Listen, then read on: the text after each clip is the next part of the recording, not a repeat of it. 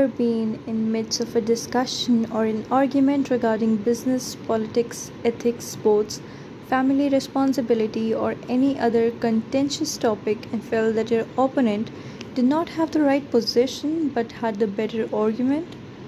Why is it that some people, often lawyers, can use a reasoned argument to debate with frustrating effectiveness?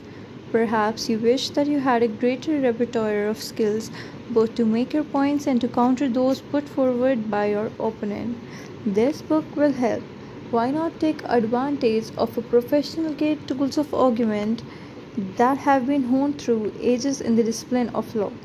The purpose of this book is to equip law students, new lawyers, paralegals, and executives as well as anyone else who wants to improve their skills of reasons persuasion with the power and time tested tools of argument. Can you recall a time when you identified the loose thread or logical flaw in your opponent's argument, pointed it out, and felt a sense of vindication? At that moment, you might have exclaimed to your opponent that he or she has been lawyered. If you liked that feeling or if you wished you had more persuasive way to articulate the opposing views, then you will enjoy and benefit from this book. After practicing and teaching law for over 30 years, I have come to believe that the tools of argument are remarkably valuable. Indeed, these skills are useful to all of us who engage in small or large business dealings, legal proceedings, government operations, or any other negotiations and who enjoy critical thinking, persuasive presentation of ideas, and victory in arguments. After all, winning arguments is much more fun than losing them. I have also come to believe that acquiring the skills and mindset to think and argue like the best lawyers is not especially difficult. The problem has been that there are a few places where one can learn about these techniques in a form that abstracts essential nuggets of wisdom from their complex historical and legal contexts. Such a presentation is my goal for this book. I have distilled a comprehensive arsenal of the types of arguments one can make in reasoned discourse, as well as the responsive counter arguments. I can think of no better way to prepare for an argument than to read this book with your own setting in mind, anticipating how you can use these tools or how your opponent might use them and how can you deftly respond. Law students and prospective law students, you will find this book a unique perspective that will enhance your understanding of legal principles and help you participate with confidence in classroom discussions and debates. Once you have a comprehensive and explicit framework of the arguments and counter arguments, you can readily see the structure of legal discourse in briefs, cases, and classroom debates. Newly minted lawyers and even experienced legal practitioners, I hope that you will find this book a, use, a useful refresher and checklist of the essential tools that can greatly increase your odds of winning any dispute.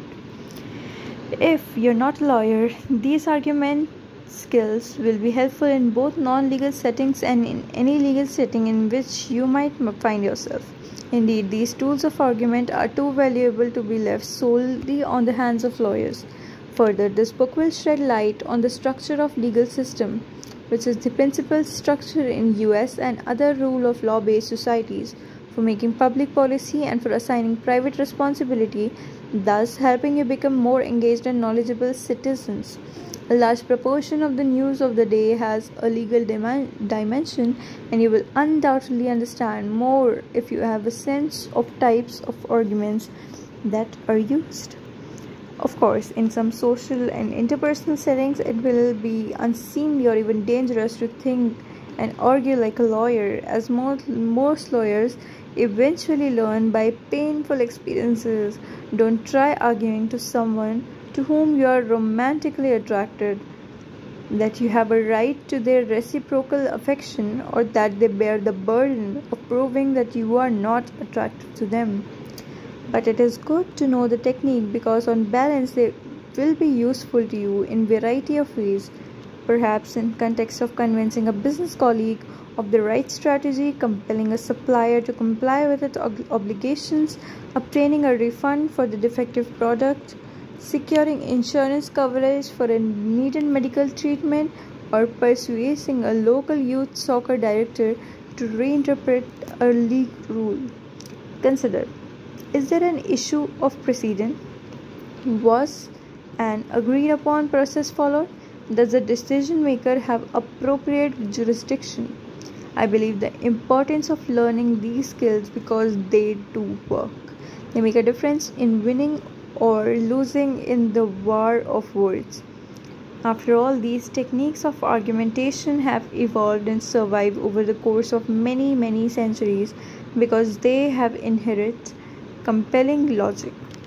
People respond to these arguments not because speaker is overbearing, manipulated or charismatic, but because they see logic of the argument.